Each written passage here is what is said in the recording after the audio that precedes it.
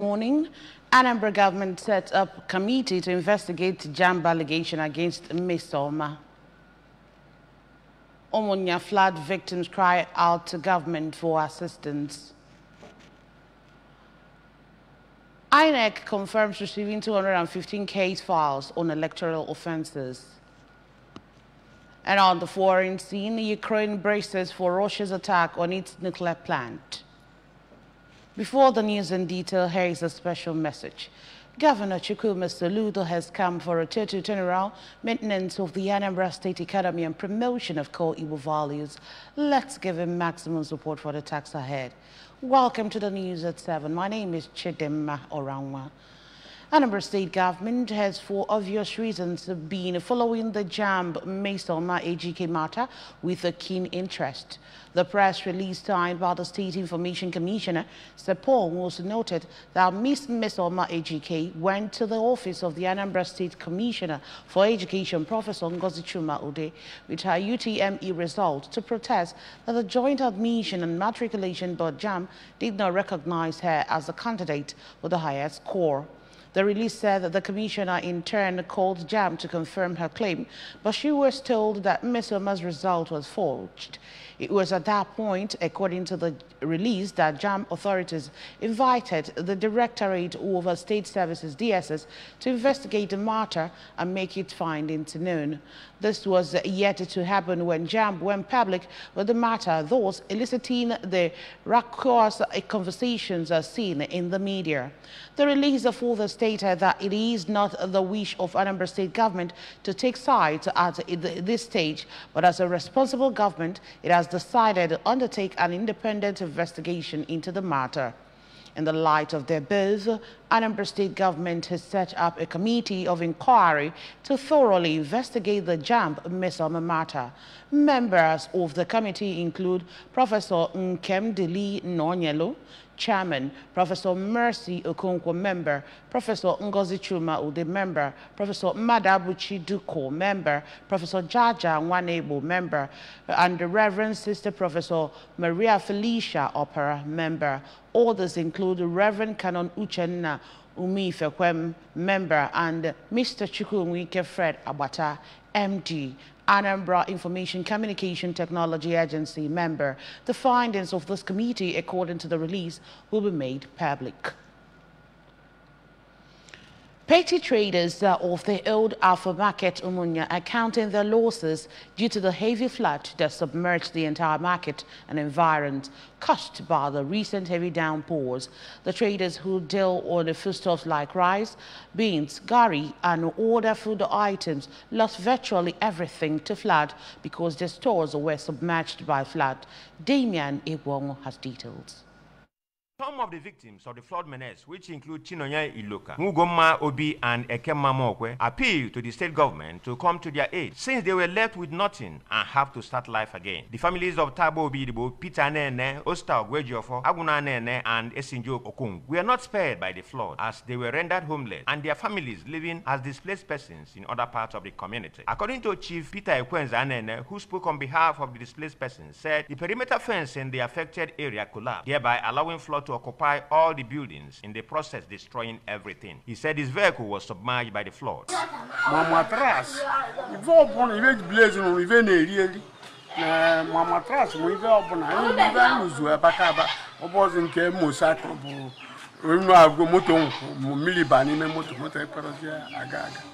nkwụ ma mmiri ba n'ime moto moto ekperozi aga aga The Obi and Emenaka families of Ojobi village were not spared by the flood. In an interview, a former special advisor to the governor on information and communication technology, Honorable Ifeanyi Agulu, said the situation in Umunya with regards to the menace of flood requires the quick intervention of Anambra State's Emergency Management Agency, SEMA, adding that there is need for a comprehensive evaluation of flood and gully erosion menace in Umunya community, especially the Wangene and Ilomwebo site. Honorable Agulu, who is also a stakeholder in the community, expressed regret that erosion is eating deep into the premises of the teaching hospital in Umunya. The former member of Umunya Development Union Executive Council commended the state governor for awarding the contract for the construction of the Umunya Okuzu Road, describing it as a welcome development that will help in boosting the economic activities in the area. This is our whole lucky game. Now I'm on a lucky. Ah, I, I have to, I have to, I have to sustain would pay again. So all the two terrible, my brother. Ma appeal to government as a stakeholder. Umunya. Ka government bịakọ aka. In his contribution, the Councillor for Umunya Ward 2, Honorable Emeka Anibog, said the people of Umunya participated in the desilting of gutters campaign in Oyi Council area under the leadership of the Council caretaker chairman, Honorable Iman Weke, adding that the gutters constructed by the contractor of the road in the past were too shallow to contain the volume of water passing through. go civil center to Igbe's Palace, Umunya.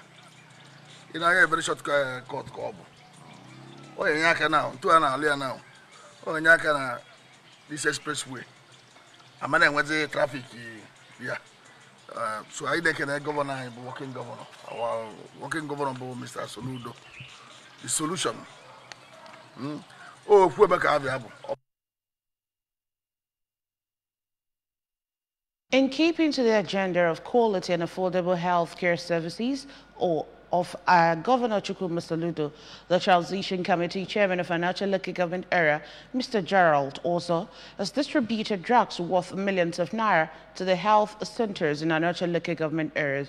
During the distribution exercise, which touched all the communities in Anaocha Local Government area, Mr. Ozo and his team inspected some of the health facilities to ascertain all the challenges confronting them. Correspondent Valentine Mbadoa has details. Speaking on the objective of the exercise, Mr. Ozo said that quality and affordable healthcare services are part of the key interventions of Governor Soludo-led government, adding that the drugs are to be administered free of cost, especially to the downtrodden. He commended the health workers and charged them on greater commitment, promising frequent visits to identify areas the local government can be of help to enable them deliver quality services to the people. Mr. Ozo thanked Governor Soludo for the privilege to serve and also the support to achieve their mandate and called on the people of Anaocha to always make use of the health facility within their locality and avoid visiting quacks. Of the vision of His Excellency is make uh, Anambra a livable and prosperous homeland. And we must do that by making sure we get to the all the sectors, all the necessary people that are supposed to get it. He believes in getting things down to the grassroots. And that's why we are here by ourselves, going around all the 10 towns, making sure that we complement his effort, which is making these, these things to reach to the people, especially people that cannot afford to go to big hospitals. The Director of Primary Health Care and Nurture Local Government Area, Mrs. Teresa Onyekwelo, said that the visit is timely and important as it will surely improve the healthcare services in Anaocha. She advised the OICs in health centers to ensure they administer the drugs free to save lives. We are here to see you and your session with a charitable house from our chairman who has come to feed you and your patients with drug. Has to make drugs available in your health center. And uh, as you know him, he is really an otter. And the water is now flowing in your health center. Bring the drugs, let us see it. Some officers in charge of the health centers, including Mrs. Rita Madaguna of Adaziani Ward 1 Primary Health Care Center and Clementina Anefo of Neni Ward 1 Primary Health Center, thanked the Transition Committee Chairman, Mr. Ozo, for the gesture and promised to use the medications judiciously. PHCs in Adaziani, Neni, Adazienu, Ichida, Akweze, Aguluzigbo, Obeledu, Nri, Aglo, and Adazinuku were beneficiaries of the free drug disbursement. From Neni, Valentine Bada reporting ABS News. Nimo community stood still last Tuesday as the member that represented the Njikoka to constituency in the 7th Anambra State House of Assembly, Dr. Pete Ibida, was honored while the constituency with an award of excellence for quality representation. Dr. Ibida was honored in a rousing reception held for him at Egwegwe Square, Nimo, organized by Nimo All Political Forum. House of Assembly correspondent Chukwemeka Modelim reports. In his remarks, the Transition Committee Chairman, Njikoka Local Government Area, Chief Lem Aguyi, who presented the award to Dr. Ibida, on behalf of the constituency, said it was in recognition of his developmental impact across the three communities in Njikoka 2 constituency. He described the various projects, programs, and initiatives executed by the legislator for eight years. He represented the constituency as unprecedented in the constituency's history. all the political parties. Bịajikọ onwe fụ ọnụ wee sị ka ekene mmadụ n'ọrụ ọma ọrụ in fact the first time even with our corporate politics of hate and bitterness ndị all political parties kwetara na onye a nọchite anya fa na ọ mere ọfụma. In an address, the President General of Nimo Town Union, Chief Ekenenna Okafor, disclosed that the community is proud to identify with the legislator on the auspicious occasion because he made them proud with quality representation. He went further to say that Dr. Ibida channeled more resources to the area of human capital development by equipping the constituents with more employment and empowerment opportunities. pavilion ma nke dị n'oji n'eleke ọngụ ma n'afịa n'ime oyi ọngụbanụ ma na aba agana ma scholarship. Ma ma human capital development. Biko ka anyị nri aka biko biko tụọ niile In their separate speeches, the chairman of All Progressives Grand Alliance APGA in Njikoka local government area, Mr. Chinedu Anekwe, and his People's Democratic Party counterpart, Mr. Magnus Obodeze, revealed that Dr. Ibida ran an all-inclusive representation and spread dividends of democracy to every part of the constituency. Responding, Dr. Ibida, who was full of thanks to God for giving him the grace to perform, commended his constituents for the rousing reception accorded him. He noted that they have acknowledged good work, promoted diligence, merit, and rewarded them accordingly by honoring him. work ka anyị yelu all my style I adị m eje sọ ekene m unu niile ọ ya adịla unu mma ọ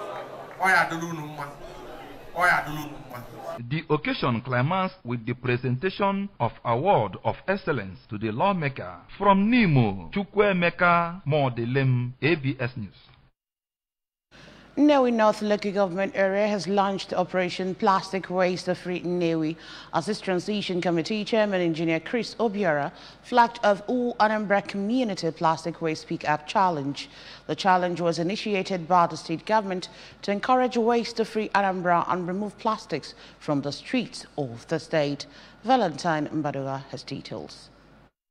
The exercise drew the participation of stakeholders in Nnewi, including environmental health officers, core members, Anambra State Plastic Waste Pickup Team, and State Ministry of Environment, amongst others. It also witnessed sensitization, street carnival, beginning from the council headquarters through different parts of Nnewi as the team, led by the council mayor, picked plastics waste within the area. Speaking during the exercise, Engineer Obiora said that the plastic waste can be converted to wealth and harped on the need for environmental protection and sustainability through effective management of plastic waste. He narrated his ordeal while desilting drainage channels in Nnewi, noting that all the drainages were blocked by plastic waste. Engineer Obiora, who emphasized that healthy and sustainable environment is at the heart of building a livable and prosperous Anambra State, as envisioned by Governor Chukwuma Soludo, called on people of Nnewi North to imbibe the right attitude of being patriotic and law-abiding. He regretted that plastic pollution constitutes major environmental challenges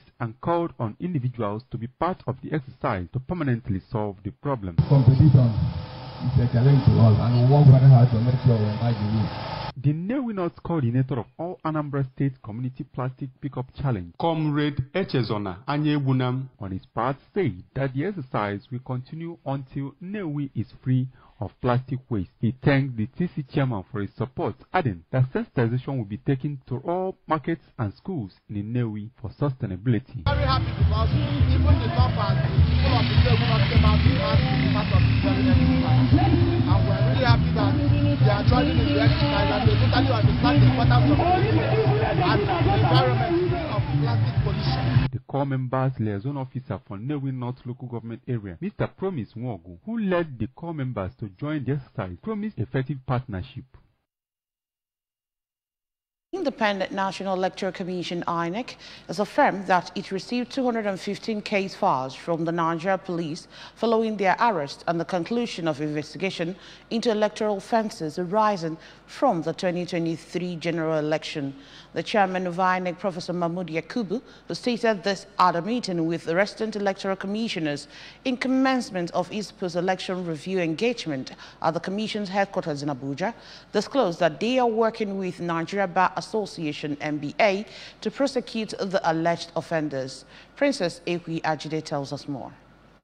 He added that already NBA has submitted a list of 427 lawyers across the country who have volunteered to render pro bono services to the Commission, but by mutual agreement, the Commission will provide a token amount to cover for filing fees and expenses. He also disclosed that they are working with the Economic and Financial Crimes Commission, EFCC, and Independent Corrupt Practices Commission, ICPC, on the prosecution of cases relating to vote buying and associated violations. According to him, since the conclusion of the election, diverse opinions have been expressed by political parties, candidates, observers, analysts, and the general public on aspects of the election that took place in February and March, stating that such diverse opinions are normally expected and the Commission welcomes all of them as far as their purpose is to improve the future conduct of elections and to consolidate democracy. Professor Yakubu noted that the security challenge which threatened to derail the elections did not materialize as concerns that the polls would be disrupted by the perennial insecurity across the country fizzled out on election day and elections were largely peaceful despite currency and fuel challenges and widespread attacks on, on INEC personnel and facilities nationwide. The INEC boss reminded Nigerians that the elections were held for a total of 1,491 constituencies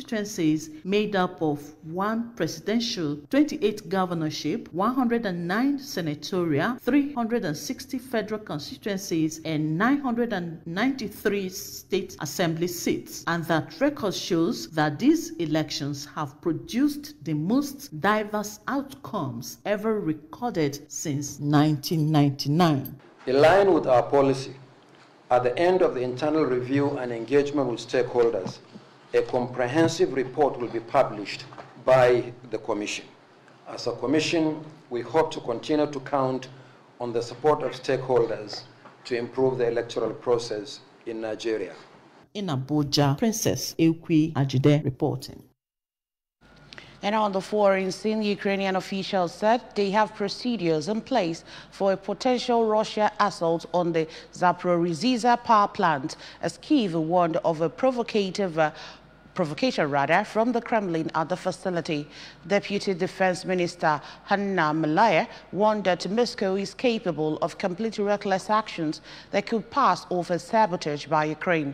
At the same time, Kremlin spokesperson Dmitry Peskov said there is a great threat of sabotage by Kyiv at the plant, which could have catastrophic consequences.